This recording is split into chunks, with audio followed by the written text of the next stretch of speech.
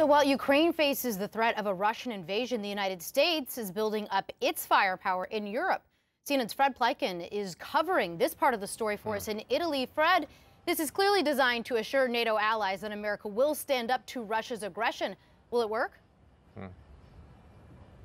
Well, I, I, think it certainly is designed uh, for that, Laura. And also, uh, one of the things that the uh, military here on the ground is telling us and at sea is telling us is that they do believe that it is working, that it's not just the U.S. out here, but also the U.S.'s allies as well. And what they're trying to do is they're trying to make the NATO alliance even more cohesive than it was before. And what they've done for the first time now since the Cold War is they've actually put a full U.S. carrier strike group under NATO command for a major exercise. We were allowed on board. Here's what we saw. The U.S. and its allies in a united show of force facing aggression from Russia. The USS Harry S. Truman is in Europe refining cooperation with NATO allies to make sure the alliance can operate more coherently, says Naval Flight Officer Jeanette Lazaro. So we just go out there, integrate, to different NATO partners, anybody we are working with, and we work to kind of smooth the communication processes. As Russia continues to amass troops near the border with Ukraine, the U.S. says it will help further strengthen the NATO alliance. This is the first time since the Cold War that a full carrier strike group has been placed under NATO command, with ships from various NATO countries flanking the Truman. The U.S. kept the Harry S. Truman in Europe longer than planned as the standoff with Russia intensifies to reassure America's allies that the U.S. is fully committed to collective defense.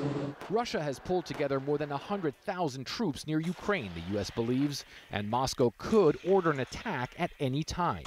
While President Biden has said he would not send U.S. forces to Ukraine, the Harry S. Truman can effectively fortify NATO's eastern flank. Despite Russia's massive naval presence in the Black Sea, the carrier's F 18 jets can quickly reach the area close to Ukraine. The Truman's commander says years of integration with allies are now paying off. We're committed to our alliances, our partnerships. Uh, we're able to, to operate plug and play anywhere in the world. And uh, from an adversary point of view, it, it, we're agnostic. If we have the strong partnership, then that's stronger than any individual adversary could ever be. The U.S. says Russia would pay a high price for any further invasion of Ukraine. And the Pentagon has just announced it will deploy additional U.S. troops to Germany, Poland, and to Romania. The current situation demands that we reinforce the deterrent and defensive posture on NATO's eastern flank. President Biden has been clear that the United States will respond to the growing threat to Europe's security and stability. But the U.S. and its allies say they hope diplomacy will prevail, as one of America's strongest deterrent forces remains on guard.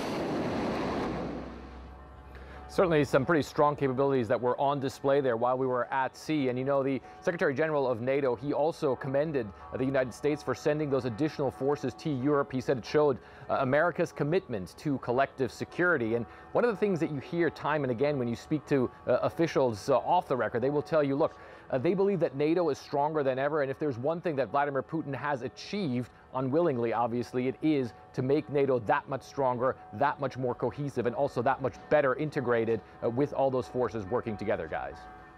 Fred, terrific reporting as usual. Thank you.